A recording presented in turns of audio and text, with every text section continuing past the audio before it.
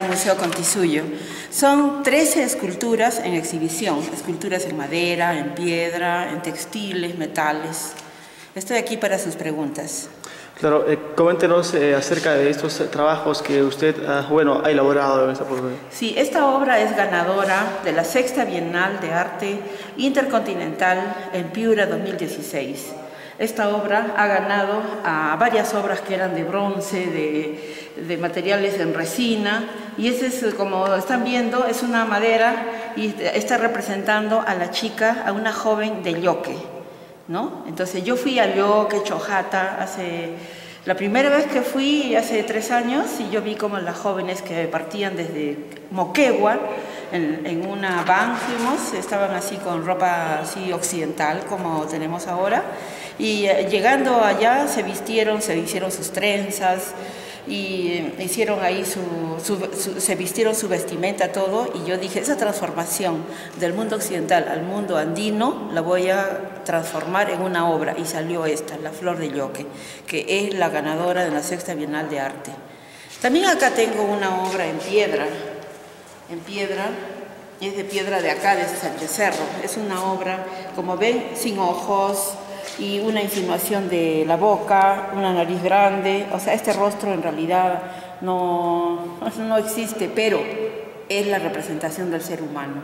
Es una piedra volcánica de, sacado de cerca del volcán Tixani, de acá de Sánchez Cerro. Quisiera ser libre, y es que así yo lo veo a Moquegua.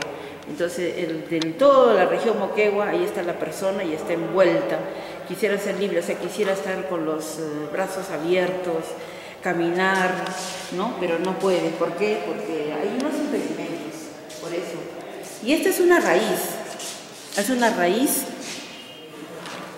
¿no? la encontré en el campo y la limpié bonito y sin tratar de, de, formarla, ahí formé un ser humano, un ser humano en pleno movimiento.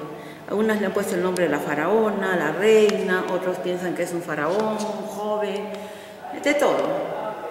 Acá tenemos esta obra que somos nosotros. Esta obra está tallada en madera. ¿no? Acá uno si lo agarra hay una, una escultura en madera. ¿Y qué es? Antiguamente el hombre se iba de sitio en sitio, va agarrando acá una manta, va llevando pan, queso. En cambio, hoy en día nos podemos mover, ya sea por buscar una fortuna, buscar trabajo, matrimonio, nos vamos a otro lugar. ¿No? Y, o si no, cuando hay guerra, de un pueblo a otro se van, como lo pasan en los pueblos africanos. Aquí se llama Carlota y su mundo, la bella Carlota, ¿no? Y es una, es una, una llamita. Sí, una llamita, ¿no? Envuelta y ese es el, apu, el apu de ella. claro que no existe un apu en esa forma, solamente estará en la mente de ella. Y Carlota no se viste así con, como vemos acá con faldones, polleras o sombrero. Normal, usa blue su polo, pero el mundo, el mundo de sus padres, de sus antepasados lo lleva. Come maíz, chuño, quinoa, evita las gaseosas, entonces es Carlota una, niña muy peruana. Pero bueno, entonces el recorrido. Sí. Acá también el oráculo discreto. Antiguamente en la antigua Grecia eh, se decía, ¿no? La leyenda que se usaba a los, a los, los dioses usaban alguna piedra roca y representaban a los dioses. Entonces el rey o reina, ¿no? O alguien poderoso podía ir a consultarle si realiza una guerra, quién lo traiciona o, con qué, con quién se casaría, ¿no? Y esta escultura tiene ahí un rostro y en el otro lado tiene ahí, este, hay una, digamos, princesa, una reina, que está yendo donde él a consultarle algo que quiere saber. Acá tenemos la astilla de un, de un, un árbol extra gigante.